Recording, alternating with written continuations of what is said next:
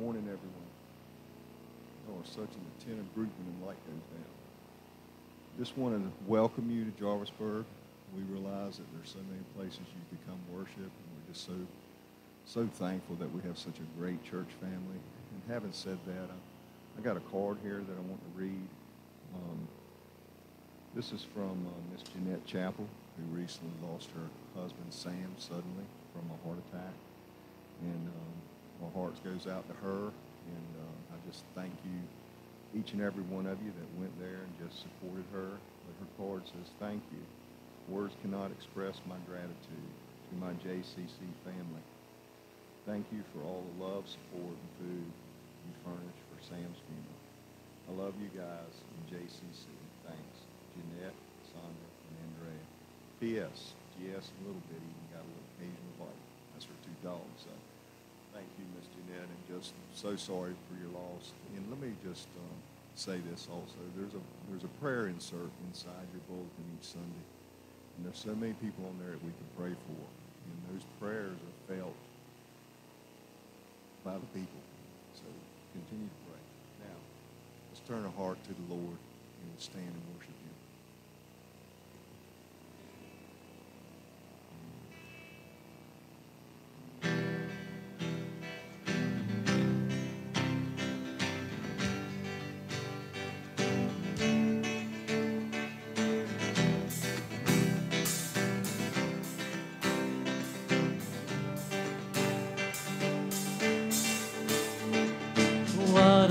Turned into wine. You open the eyes to the blind. There's no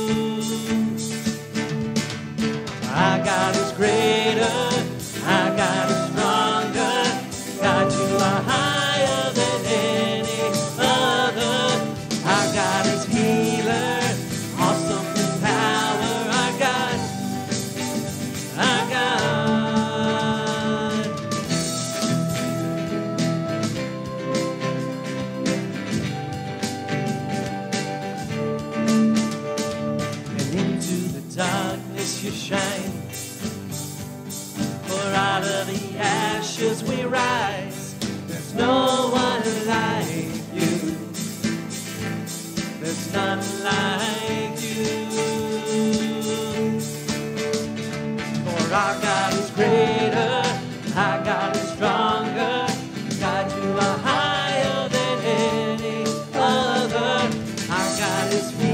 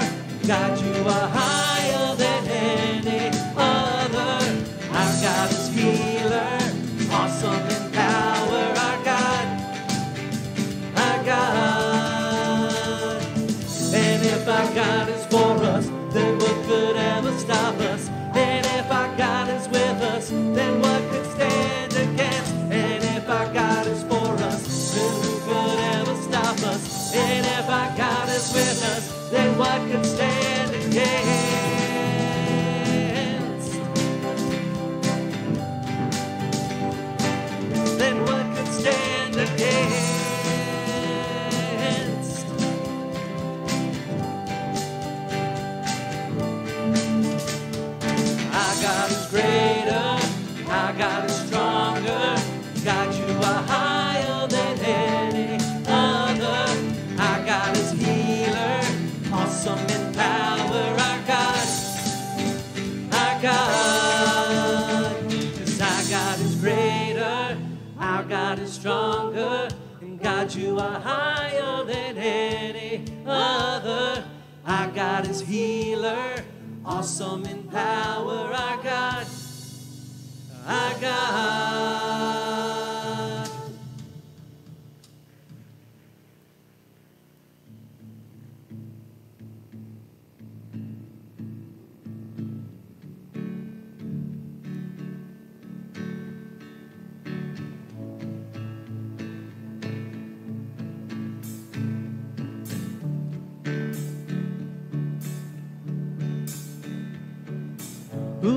The power of sin and darkness? Whose love is mighty and so much stronger?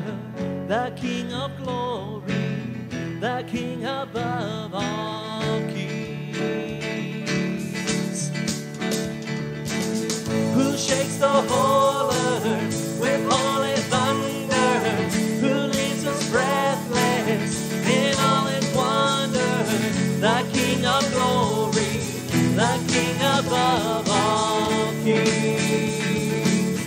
This is amazing grace. This is unfailing love. That you would take my place that you would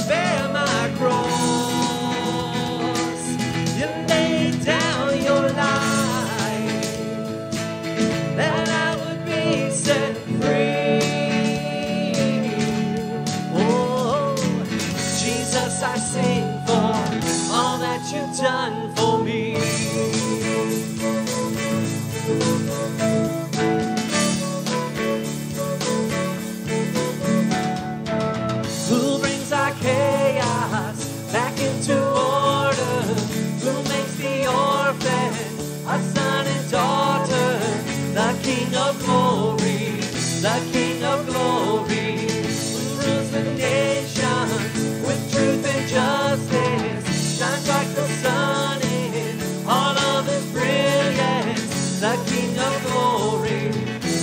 Above all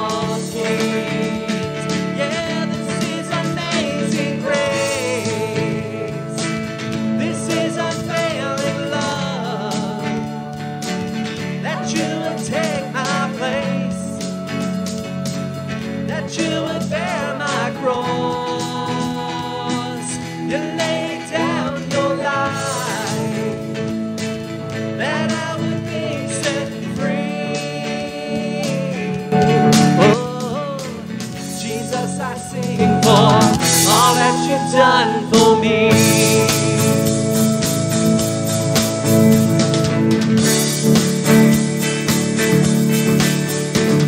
And worthy is the Lamb who's slain, and worthy is the King who conquered the grave.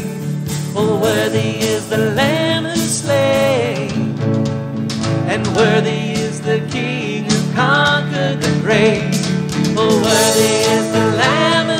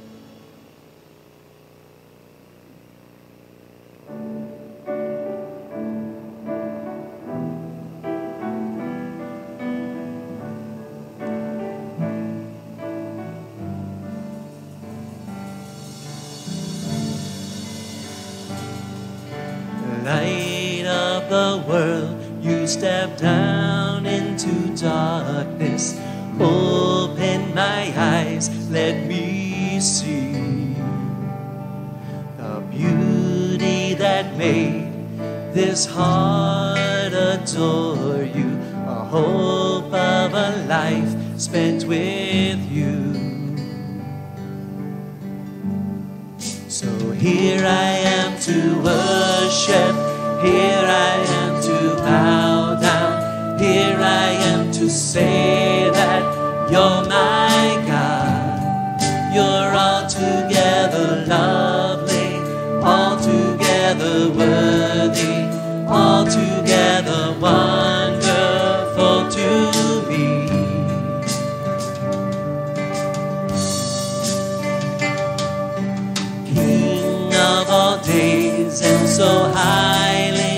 exalted, glorious in heaven above.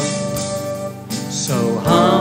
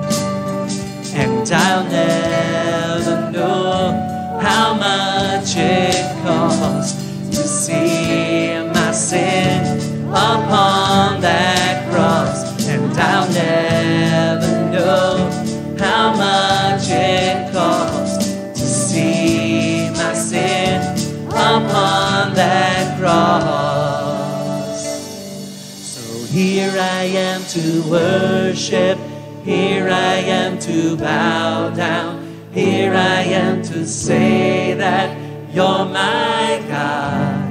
You're altogether lovely, altogether worthy, altogether wonderful to me. So here I am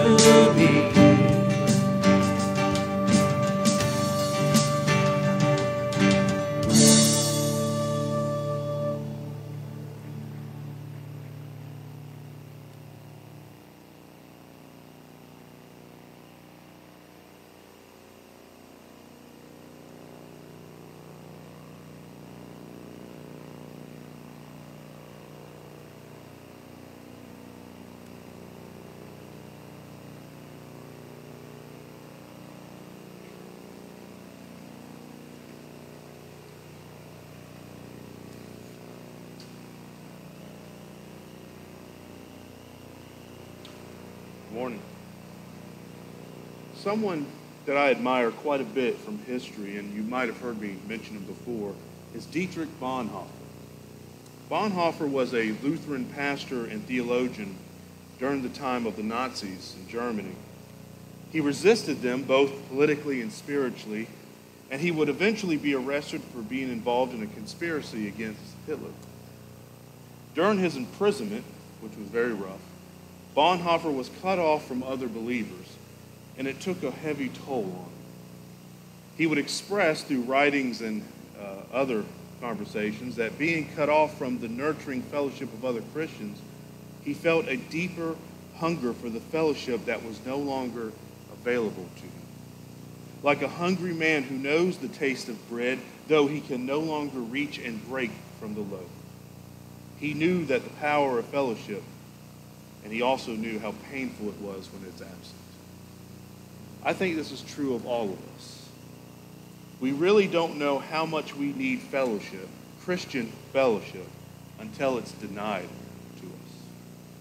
Only then would some of us realize and understand the blessings that it is to be a part and among the body of Christ. In Acts chapter 2, these blessings are spelled out on the day of Pentecost. It said they devoted themselves to the apostles' teachings and to the fellowship, to the breaking of bread and prayer.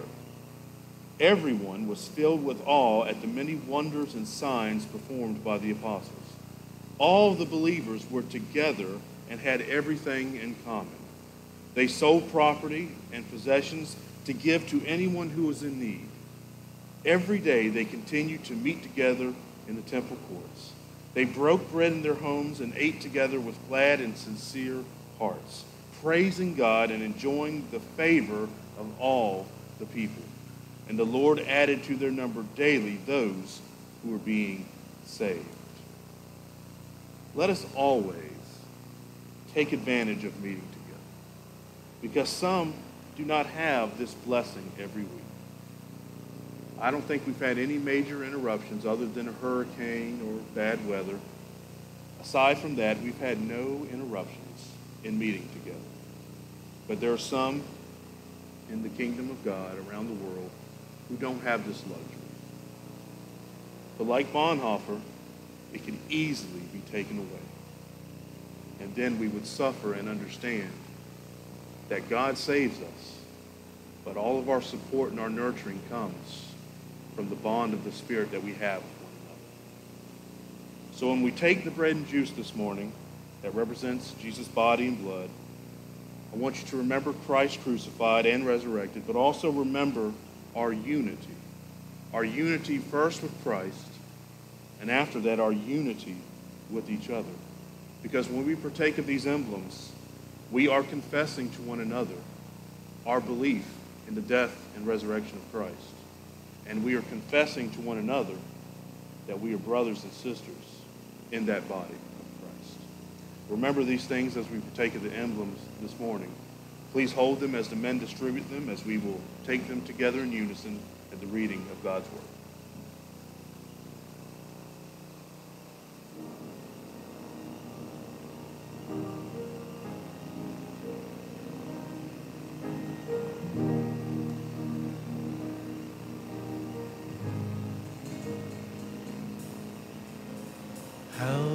The chasm that lay between us.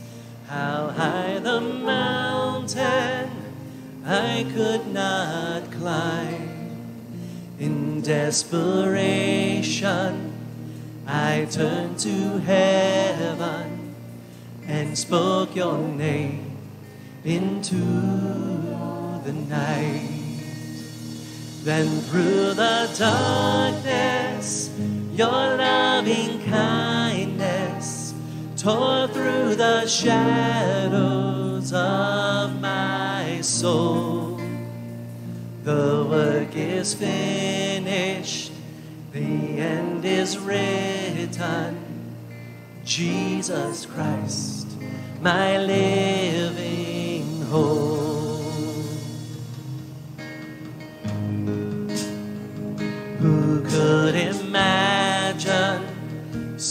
Great a mercy? What heart could fathom such boundless grace? The God of ages stepped down from glory to wear my sin and bear my shame. The cross has spoken, I am forgiven. The King of Kings calls me his own. Beautiful Savior, I'm yours forever. Jesus Christ, my living hope. Hallelujah. Praise the one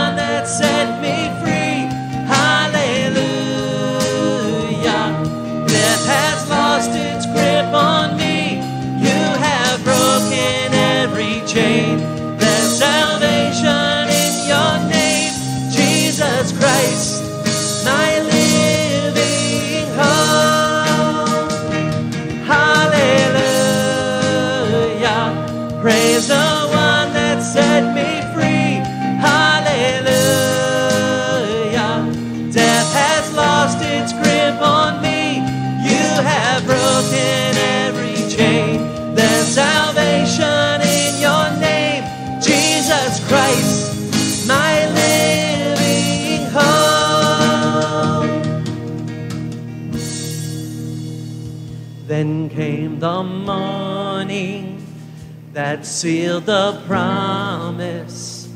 Your buried body began to breathe out of the silence. The roaring lion declared the grave has no claim on me. Then came the morning that sealed the promise. Your buried body began to breathe out of the silence. The roaring lion declared the grave has no claim on me. Jesus, your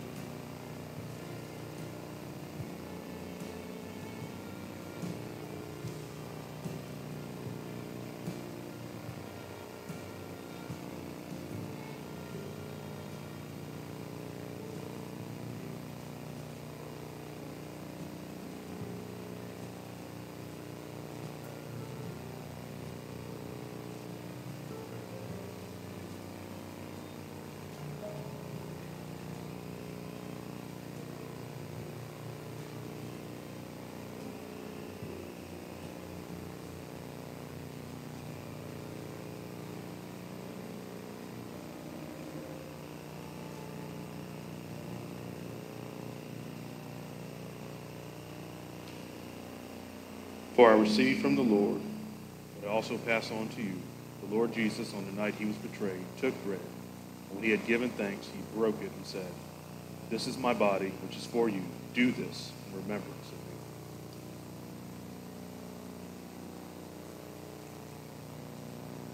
In the same way, after supper, he took the cup, saying, This cup is the new covenant in my blood. Do this whenever you drink it in remembrance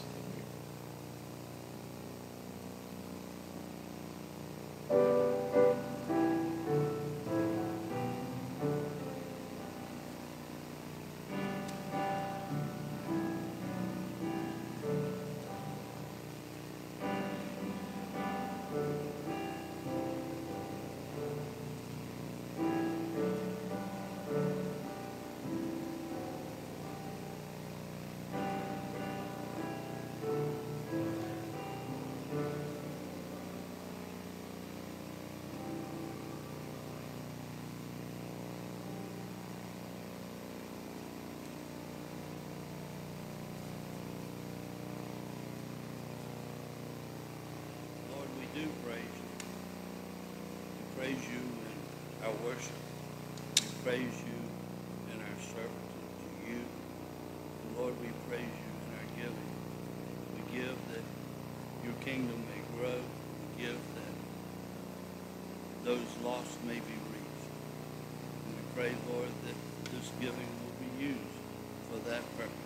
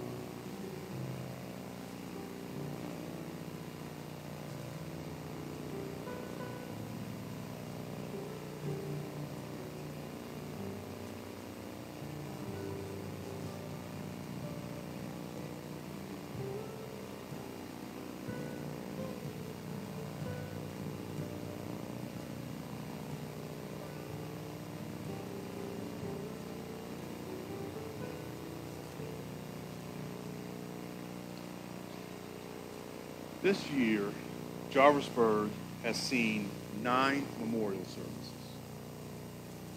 Most of them were held here. A few of them were held somewhere close in the community. But one thing was the same in all of those services, no matter who they were for or where they were held. At those services, we prayed together. At those services, we read scripture together. We ate meals together. We shared fond stories of our loved ones and friends together. And we provided a shoulder to lean on together. That's what we call community. That's what we call family. And it's also what we call fellowship. And as we continue in our series today, that is our focus fellowship. It's more than just eating together and shooting the breeze, although that's also a great way to fellowship, and quite frankly, that may, might be the most common for us. But it's more than that. It's about reinforcing our common bond together that is stronger than any other bond or any other blood connection that we have on this earth. Our bond is the common faith in Jesus Christ and the supporting and indwelling Holy Spirit that tethers us together. That is our common bond. And as I mentioned earlier, when we partook of the Lord's Supper, that is what we were confessing and recognizing was our common bond, our common faith, and our shared experience with the Holy Spirit. 1 John chapter 1 verses 3 through 7 tells us this. We proclaim to you what we have seen and heard, so that you also may have fellowship with us. And our fellowship is with the Father and with his Son, Jesus Christ. We write this to make our joy complete. This is the message we have heard from him and declare to you. God is light. In him there is no darkness at all. If we claim to have fellowship with him and yet walk in the darkness, we lie and do not live out the truth. If we walk in the light as he is in the light, we have fellowship with one another. And the blood of Jesus, his son, purifies us all from sin. We have a common goal to glorify Jesus Christ. We have a common lifestyle, that is to walk in the light of Jesus Christ. And we have a common destiny. We're going to spend eternity with Jesus Christ. Yet so many of us allow so many things to keep us from fellowshipping on a regular basis. For some, it's the fear that we won't fit in. For others, it could be that you have a strong anxiety of socializing. And even still others, you just might place church fellowship at a very low priority compared to other things. But I want to tell you today that our fellowship, our bond together through Christ, is greater than any of these problems and it's greater than any of the misunderstandings or excuses that we have. Our fellowship is greater than that, and we need it. And I'll begin by telling you this that our fellowship is greater than our diversity. Our fellowship is greater than our diversity. When we think of the New Testament, we're talking about diversity. Let, us go back and think about the 12 apostles, right? A motley crew, so to speak, of guys gathered together, called by Jesus to follow him, disciple him, and to learn his teachings and obey him. The 12 apostles were no doubt a diverse group. You had tradesmen of all different types, fishermen, tax collectors, uh, people who had strong political and radical ideas. This was a diverse group of men if I've ever seen one. And it's a test testimony to the fact that Jesus will call on whom he ever calls upon to serve him. And that group, group proved it. But let me give you a, a more specific example. On one hand, you had Matthew, the tax collector. Okay, in our eyes, he's a government worker. He's Mr. IRS. And some of you already getting negative connotations about Mr. IRS. Matthew's Mr. Big Government, okay? And then on the other end, someone we really don't hear much about in the Bible, you have Simon the Zealot. Sometimes he's referred to as Simon uh, something else or whatever. He's got so many names, but the one that would define him most appropriately is Simon the Zealot. A zealot in those days was a group of Jewish individuals who wanted to see a revolution and a military overthrow of Rome, and with it all their taxes and laws. So you have Mr. Big Government, Mr. Revolution. That's like President Trump and Nancy Pelosi holding hands in the park, singing together, eating ice cream. Do you see what I'm getting at?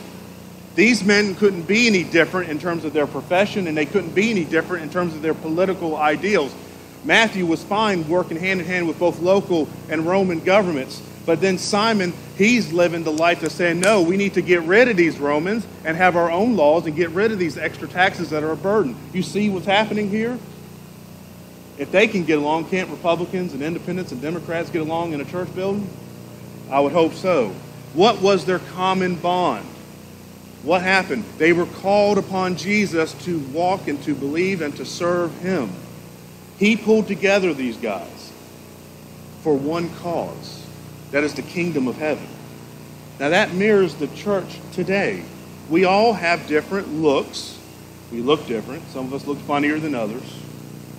We have different means of wealth. We have different hobbies, we have different habits, we have different entertainment preferences, style preferences, we have different political philosophies, we have different pet peeves, right? We're very different. We're very diverse in many different ways. Now, none of this is new to you. You know this. Yet, like the apostles, we are unified and united by something greater than our egos and our personalities and our habits. That is the Lordship of Jesus Christ. He is our unifier, and the Spirit tethers us together. That's what the Lord's Supper is telling us every time we take it. I can't emphasize this enough. When you take the Lord's Supper, you are recognizing and revering what Jesus Christ did for us on the cross, and you're recognizing that He also rose again, and because of His death and resurrection, we will have eternal life. But it's also another thing. It is a reminder that we are family, that we are connected. And that's why Paul in Corinthians, when he was correcting the Corinthian church on how bad and disorderly and how disrespectful they were around the Lord's Supper, one of the things he emphasized was the fact that they needed to examine themselves and to see where they were with God and where they were with their brothers and sisters. And it's plain and simple. If there is something between you and a fellow Christian and you have not resolved it, you need to examine yourself. And I think you need to hold back, as Paul would say. Go fix what's going on with your brother and sister. Seek forgiveness. Accept forgiveness. Pray for peace and then come back and recognize that we are one body because we need that. Diversity is something that Christ celebrates because he made us different. And it's even more glorified the fact that the church of Jesus Christ, the New Testament, is about everyone who comes to faith in Christ. The Jewish people were selected for a service. They fulfilled that service. In those days, though, it was monolithic. You were either a part of Israel or you weren't. But now, salvation is offered to all, no matter your color, your race, your language, your age, gender, whatever. That's awesome. I'm so grateful for the Old Testament and where Israel had in their place, but now we have evolved into a place where Christ is calling upon all nations to follow. And if you think that you're too different to fellowship, you're not. Because through Christ we are all one. In Galatians chapter 3, Paul makes this clear.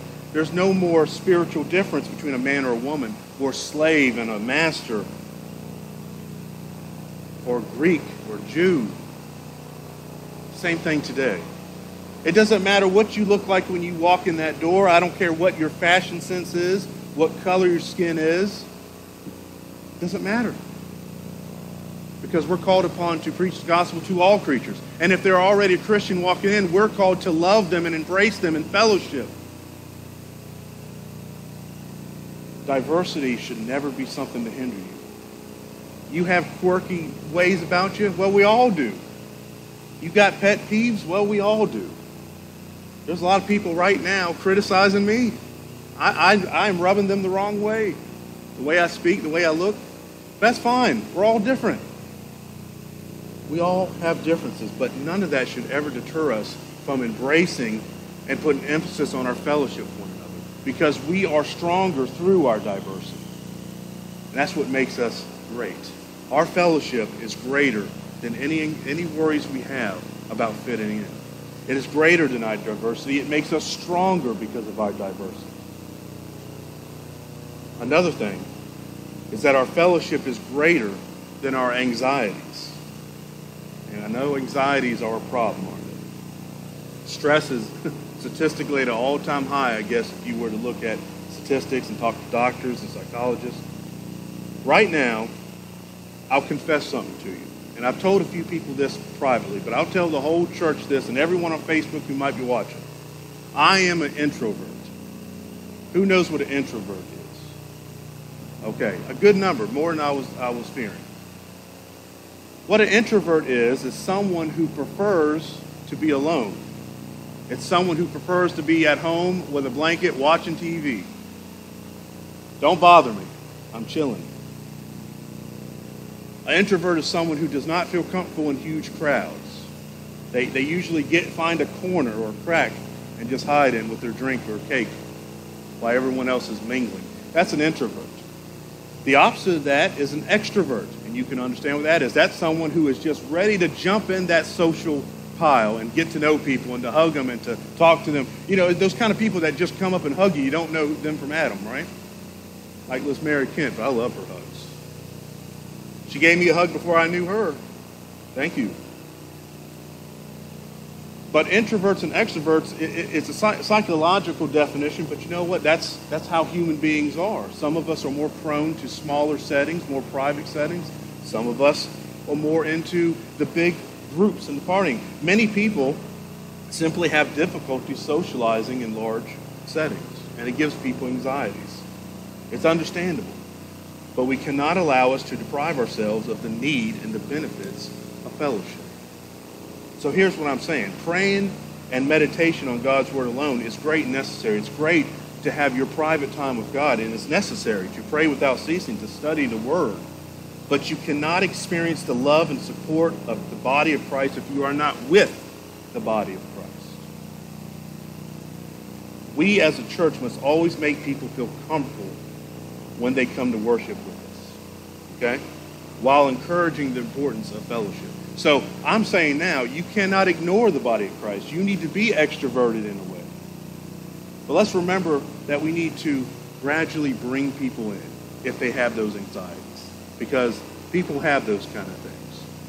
Uh, like I said myself, I, I told you this before. 15, 20 years ago, I'd laughed at you if I told you I'd be preaching almost 200 people a Sunday. I'd laugh at your face maybe insult you a little bit and walk away. But where God has brought me today, I've been able to overcome that. Not because I'm no longer an introvert. I still like being on my couch at home watching football or a show. Okay? No offense, guys. But you know what? I'm called to something higher. I'm called to be with my family whenever possible. And that's what we have to overcome. What we gain from worshiping and fellowshipping together far outweighs any fears or anxieties of socializing. And this part might not speak to most of you that I'm getting at, but you'd be surprised there are hundreds or thousands of people who don't come to church because they're so scared of something. They're scared of socializing, they're scared of crowds, they're scared of people getting in their business. Well, no. We want to bring you to Christ because he knows your business. And we want to help you make a connection there and to make a connection with each other. Thank you.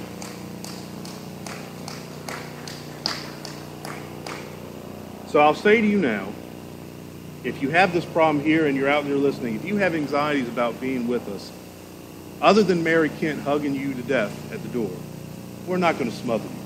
We're going to love you and welcome you. And when you're ready, you become part of this family through Christ. So our fellowship is greater than our anxieties if we have them. But here's another thing that really needs to be heard by everyone because this might be the worst problem of them all. Our fellowship is greater than all other bonds. Now, what do I mean by that? There is something that must be understood very clearly. All right? This may upset some people, but it's the truth. You cannot follow Christ and forsake the church.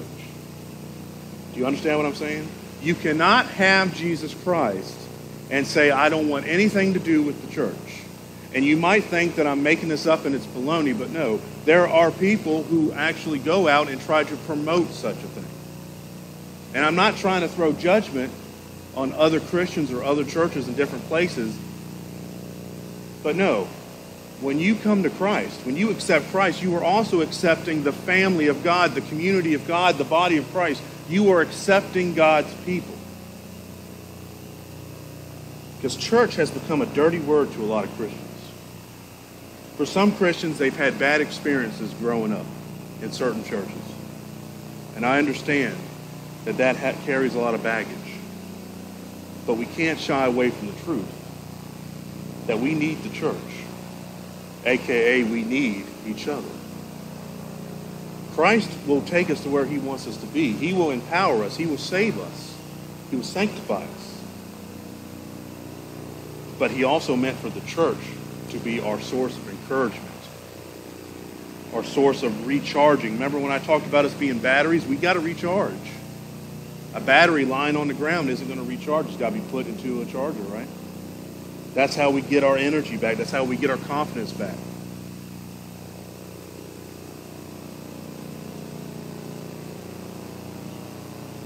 The writer of Hebrews makes it clear we are not to make the habit of not attending a habit.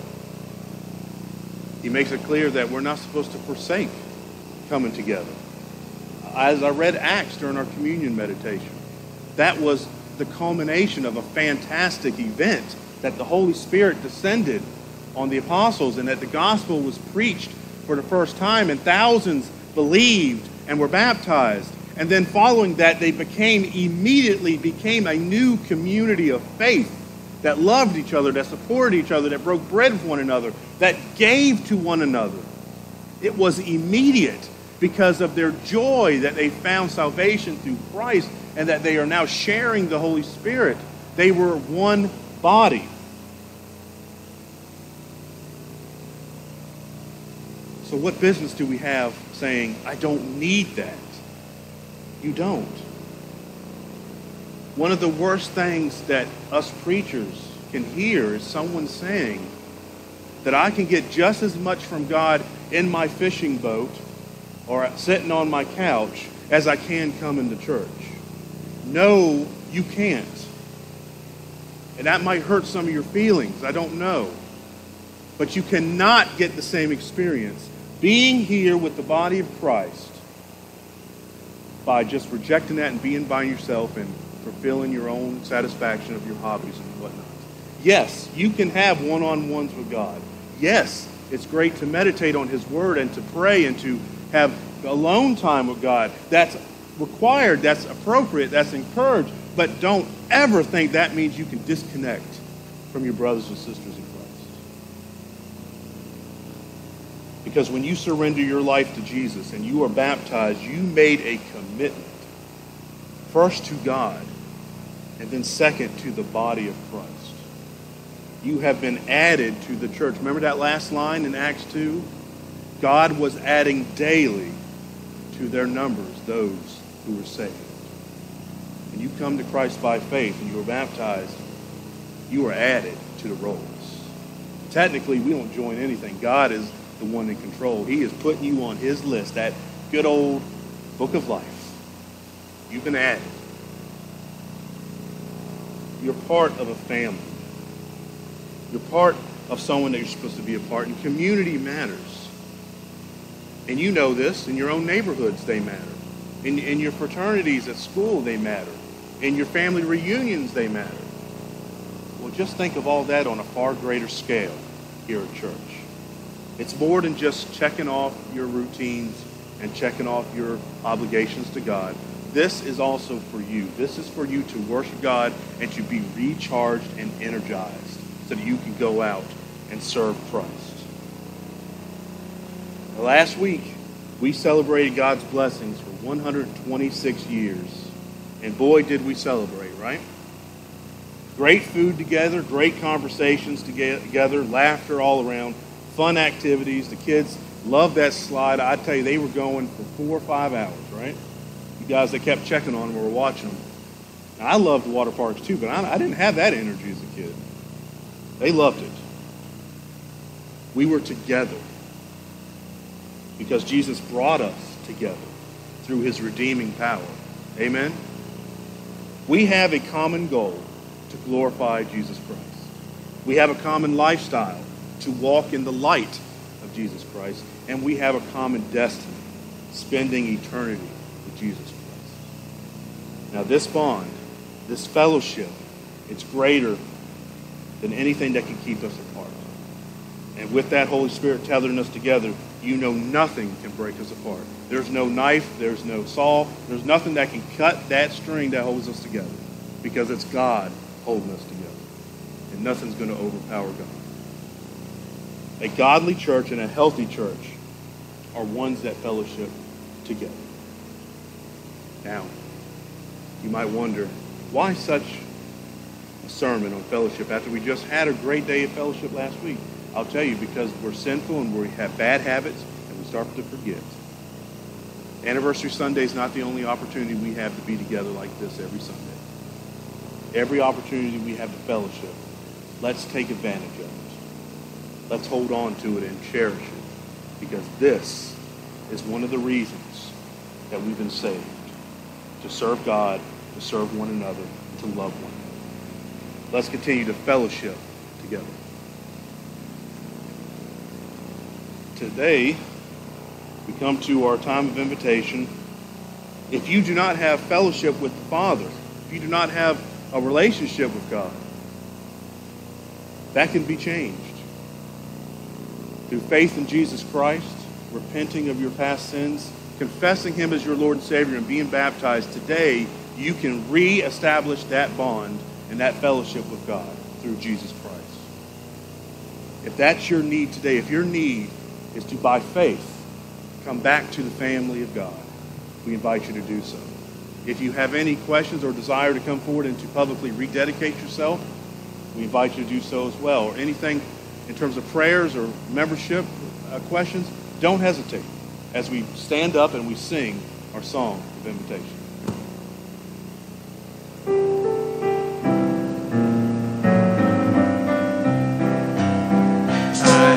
Decided to follow Jesus. I have decided to follow Jesus. I have decided to follow Jesus. No turning back, no turning back. The world behind me, the cross before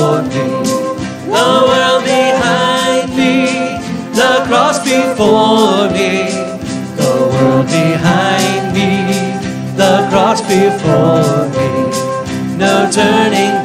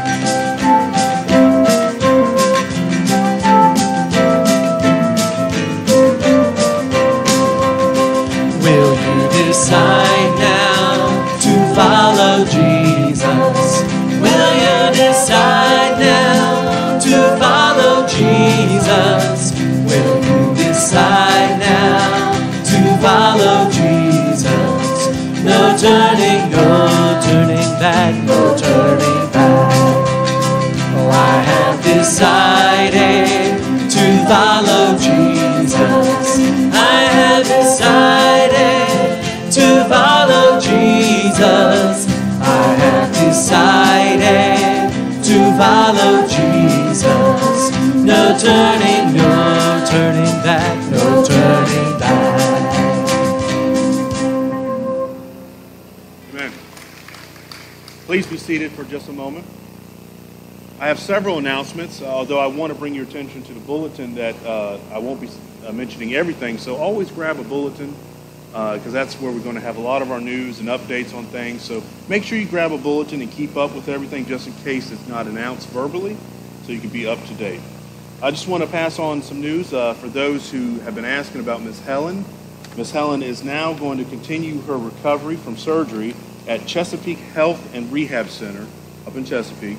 And the address is in the bulletin if you'd like to have it. So if you want to call or visit her, uh, that's where she'll be staying for the immediate future as she continues to heal from her back surgery, which went well, by the way, for those who have not heard. I want to also uh, emphasize something that's not in the bulletin. That is choir for our special events is about to start back up again, and the choir will start their uh, rehearsals uh, September 5th at 7 p.m. Do I have that right? I think so. Yeah. So the the sign-up sheet is still over here, and I've been asked to just make sure I emphasize this today that if you have any interest in being part of the choir, even if you just want to ask some questions, sign up, and Mike, who leads our special music and choir, he will get with you and talk to you about what's going to go on. Okay, this is coming up for our holidays coming up soon. So we need some people to uh, come in and give us their best voice. It won't be me, but we need people to fill up our choir. So please be sure to keep that in mind. And also, uh, the, the, the food pantry is still collecting water, uh, bottled orange juice, and canned uh, meat or canned chicken. So please continue to bring that in for us if you can. That will be going on to the end of September. And when we pray today, I'm going to emphasize something. Uh, school is starting. for Currituck and Dare, that starts tomorrow. Okay? All right. I know some people are real anxious. And for Jarvisburg Christian Academy, that starts on the 28th. So, depending on your age, you're either extremely excited or extremely depressed. So, let's pray for our students to have a great year and for our teachers and administrators to have a great year that these students can learn and uh, have a great school year. Okay, let's make sure we're praying for them, for the teachers and the kids as that. So before we close, Miss Dawn has come up and she has asked for continued prayer because her, sur- her knee surgery is this Friday. All right, it's going to be up in Sentara Leigh. We don't have the time yet, but it'll be up in Sentara Leigh. Uh, so she's asking for prayers, and she'll be having knee replacement, and uh, she's going to have time for healing after that. But we're going to keep Dawn in our prayers. And what I would like to do, and we're going to try to make this more of a habit, we're going to pray for Dawn by coming and gathering around her and praying. So when I ask you to stand, try to come close and let's connect and put our hands on Dawn so we can pray over her and pray for the dismissal of our service. Let's stand and gather.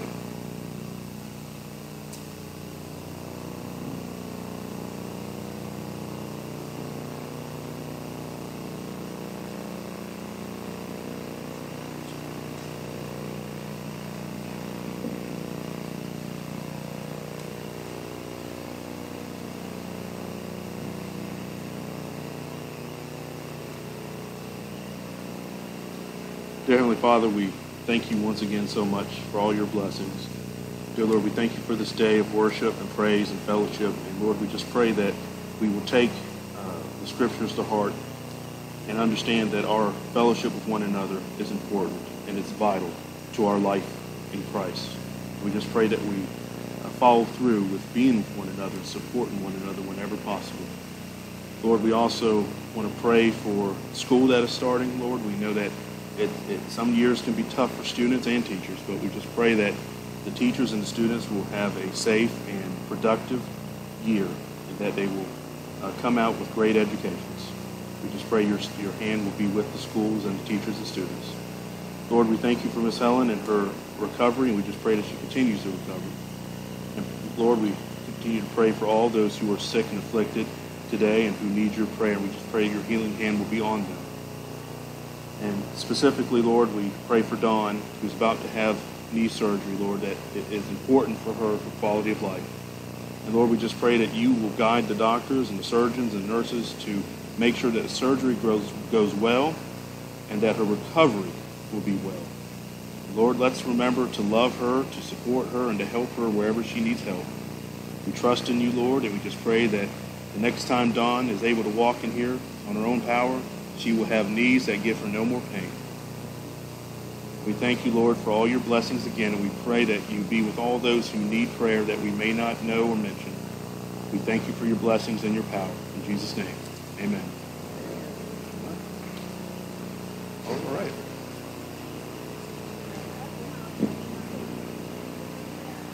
Don't have to go home, but you can't see your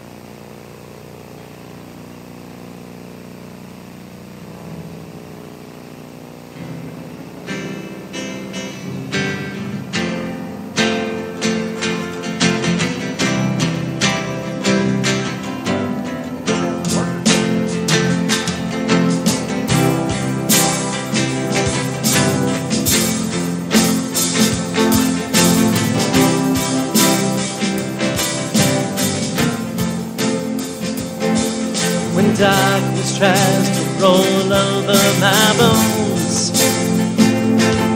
When sorrow comes to steal the joy I own. When brokenness and pain is all I know.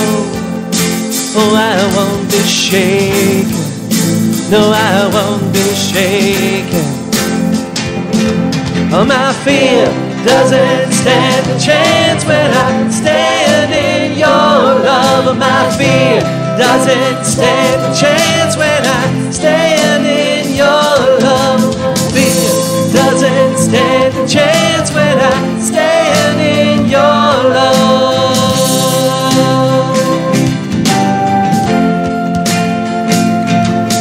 Shame no longer has a place to hide. I am not a captive to the lies. I'm not afraid to leave my past behind.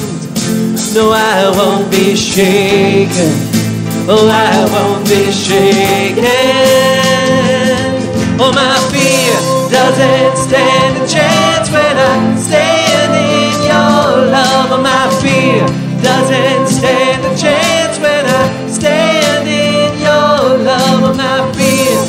doesn't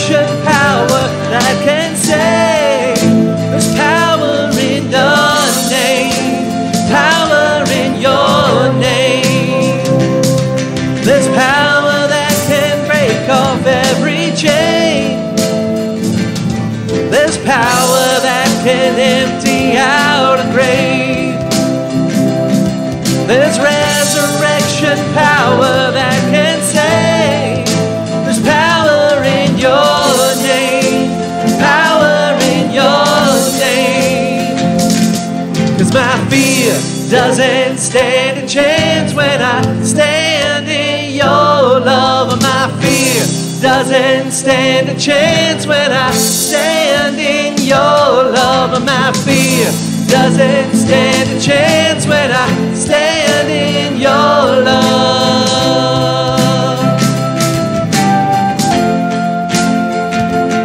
Oh, my fear doesn't stand a chance when I stand in Oh, my fear doesn't stand a chance when I stand in your love. Oh, my fear doesn't stand a chance.